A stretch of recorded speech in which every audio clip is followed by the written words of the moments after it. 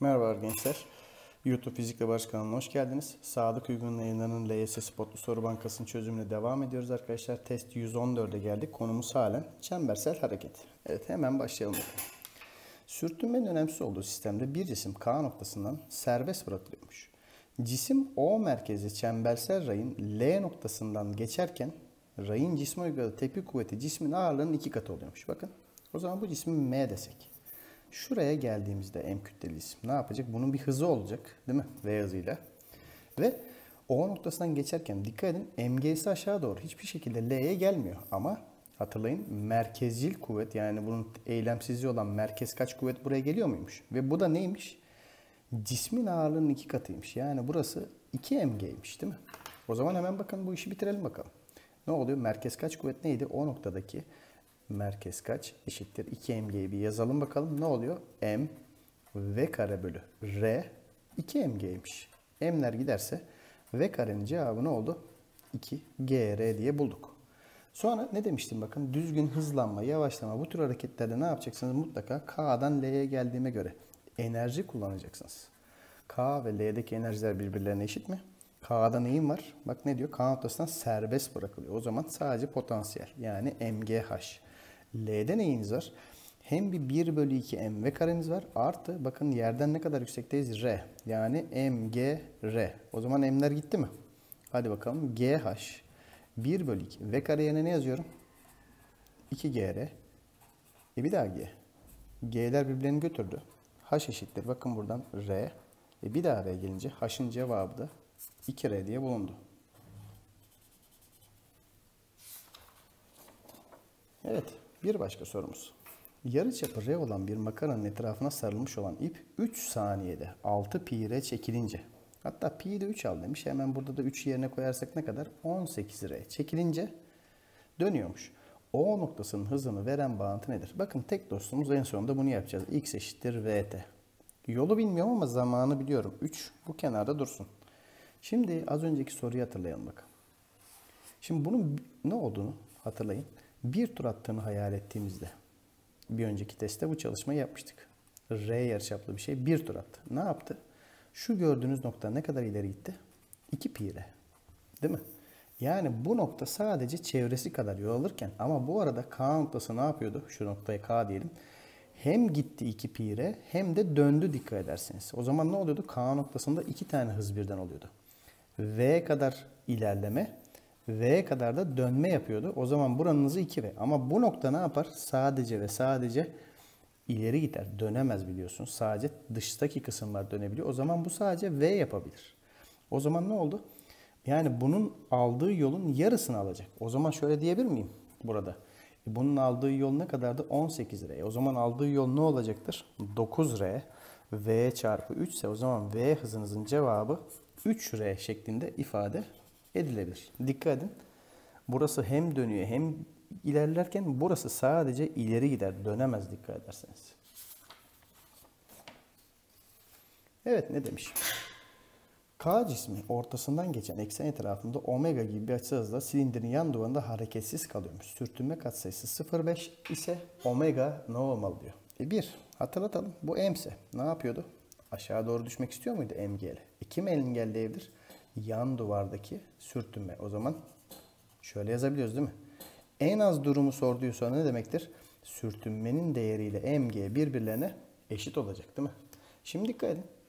Özellikle e bu arada yan duvarda bunun durmasını kim sağlıyor? Normalde yan duvara bir etki yok ama döndüğünüz için dışarı doğru merkezcil kuvvetin eylemsizliği olan merkez kaç kuvvet sayesinde bu yüzeye bir etki uygulanıyor. O zaman sürtünmenin genel formülü neydi? K çarpı N hatırlıyorsanız mg. E yazalım K çarpı kimin sayesinde? Omegalı formülünü yazıyorum çünkü orada da omega istiyor. Merkez kaç kuvvetti? Yani bunun yerine ne yazıyoruz? Merkez kaç kuvvet? Neydi o da? M. Omega kare R eşittir mg. Bakın m'ler gitti. O ne güzel eşi bitti zaten. K 0,5. Omega'nın karesi yarıçap metreye mutlaka çeviriyoruz. 0,2 eşittir. 10 oldu değil mi? İsterseniz bunları rasyonelleştirelim hemen. 1 bölü 2 omega kare 1 bölü 5 eşittir 10. Ne oldu?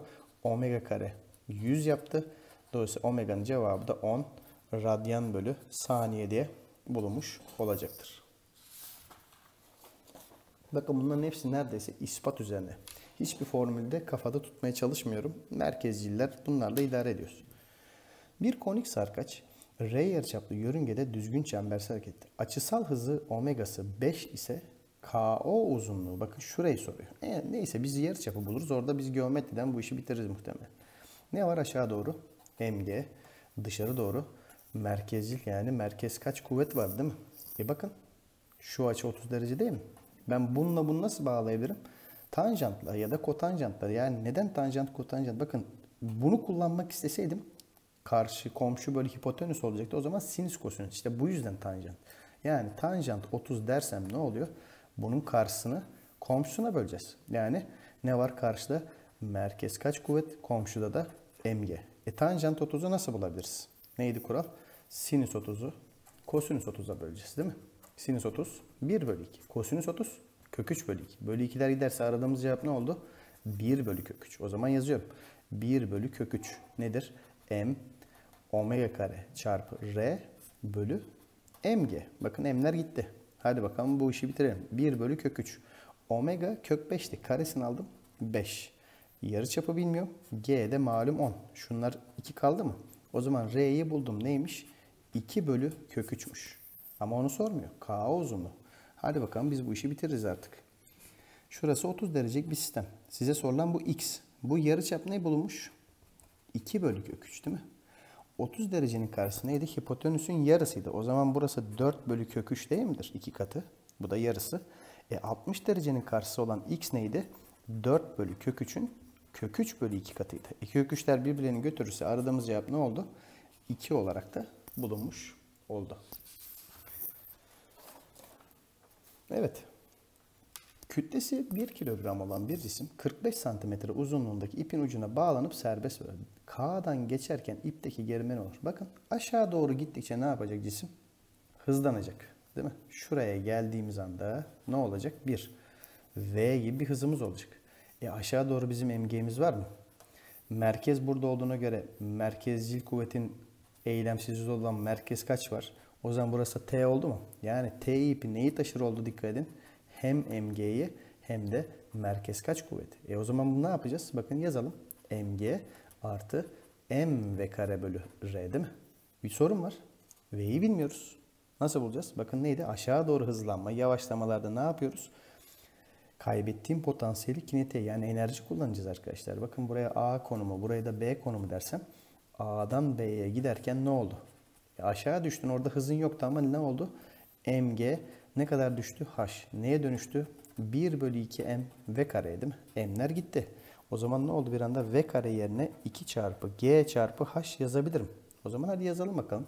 T'nin cevabı ne oldu o zaman? mg artı m v kare yerine yazıyorum. 2g h bölü r değil mi? Aslında düştüğünüz h da r aynı şey değil mi şu anda? Şunlar da gitti. O zaman sorunun cevabı bakın ne oldu? 3 mg. Hatırlatıyorum bu h ile bu r aynı şey. Düştüğünüz yerde h yarıçapta r. O zaman bitti. Ne yapıyoruz? T'nin cevabı yazıyorum. 3. Kütlesi kaçta? 1. G'de 10 olduğuna göre 30 Newton'dur. Bakın en son sayıları yerine koymaya çalışıyorum. Baştan beri sayıları taşısaydık biraz angarya olabilirdi sorular. O yüzden mümkünse çok fazla taşımamaya çalışsın sayıları.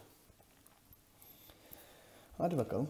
O merkezli çembersel yörüngenin K noktasından 2M kütleli cisim serbest bırakılıyormuş. L'den geçerken tepki kuvveti ne olur? Bakın hep aynı soru. Aşağı doğru gittikçe ne oluyor? Bu işte bak hızlanacaksınız. E buraya geldiğim anda M kütleli değil 2M kütleliymiş. V gibi bir hız olacak mı? Ne oluyordu burada?